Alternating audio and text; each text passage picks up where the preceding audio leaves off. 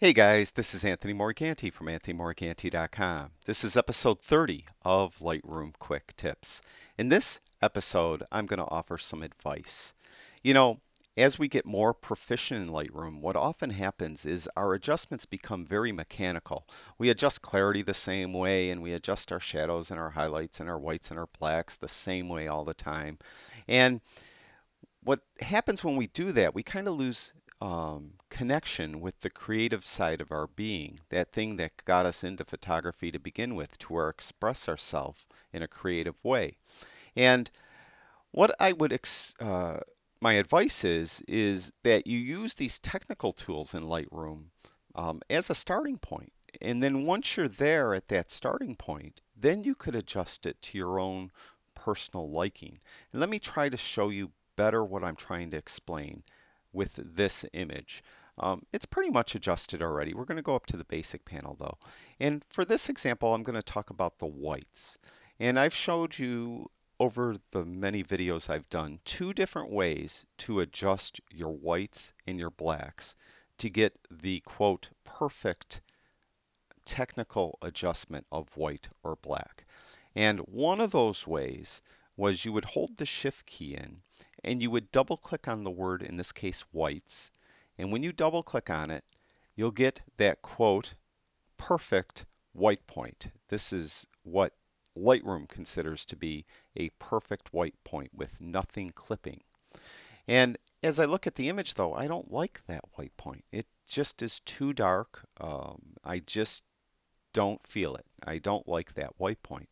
Well, I did show you another way to adjust the white point is you would hold the Alt or Option key. It's Alt if you have a PC, Option if you have a Mac. Hold that key in, click down on the white slider, the screen will turn black. Then you move the white slider to the right until stuff starts to bleed through, and then you would back it off just a little bit. And I backed it off to plus 87.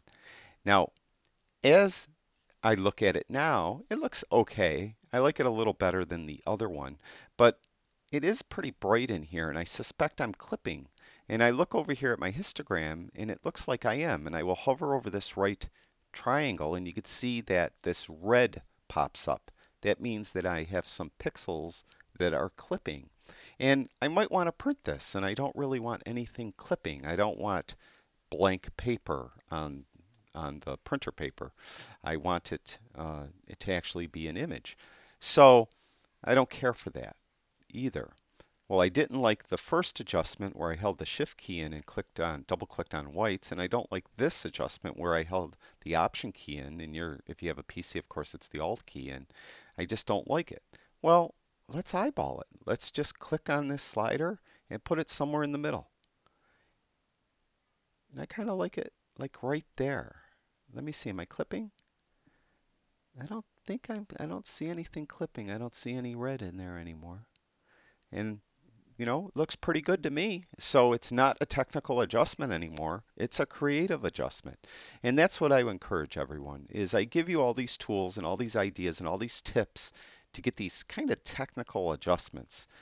Well, take that and use it. But if you don't like it visually, don't let that dissuade you from just going in there and adjusting the slider by eye. Now, of course, this is assuming that you're on a computer with a calibrated monitor because if your monitor isn't calibrated, what you're seeing isn't really what necessarily will be printed. So it's very important to have a calibrated monitor. But with that said, the point of my whole uh, video here is just to remind everyone that photography is creative first. It, it is technical. We have a lot of technical things with cameras and lights and and you know apertures and all that stuff. Very very technical hobby. But still, you really have to keep that connection to the creative side of yourself uh, when you do it. And that's really what makes the images you. If everyone adjusts their images like I adjust my images, we're all going to start looking alike after a while. All right, that's it for episode 30. I'd like to thank everyone that watches my videos. I truly do appreciate it. And if you haven't already, please subscribe to my YouTube channel. All right, I'll talk to you guys soon.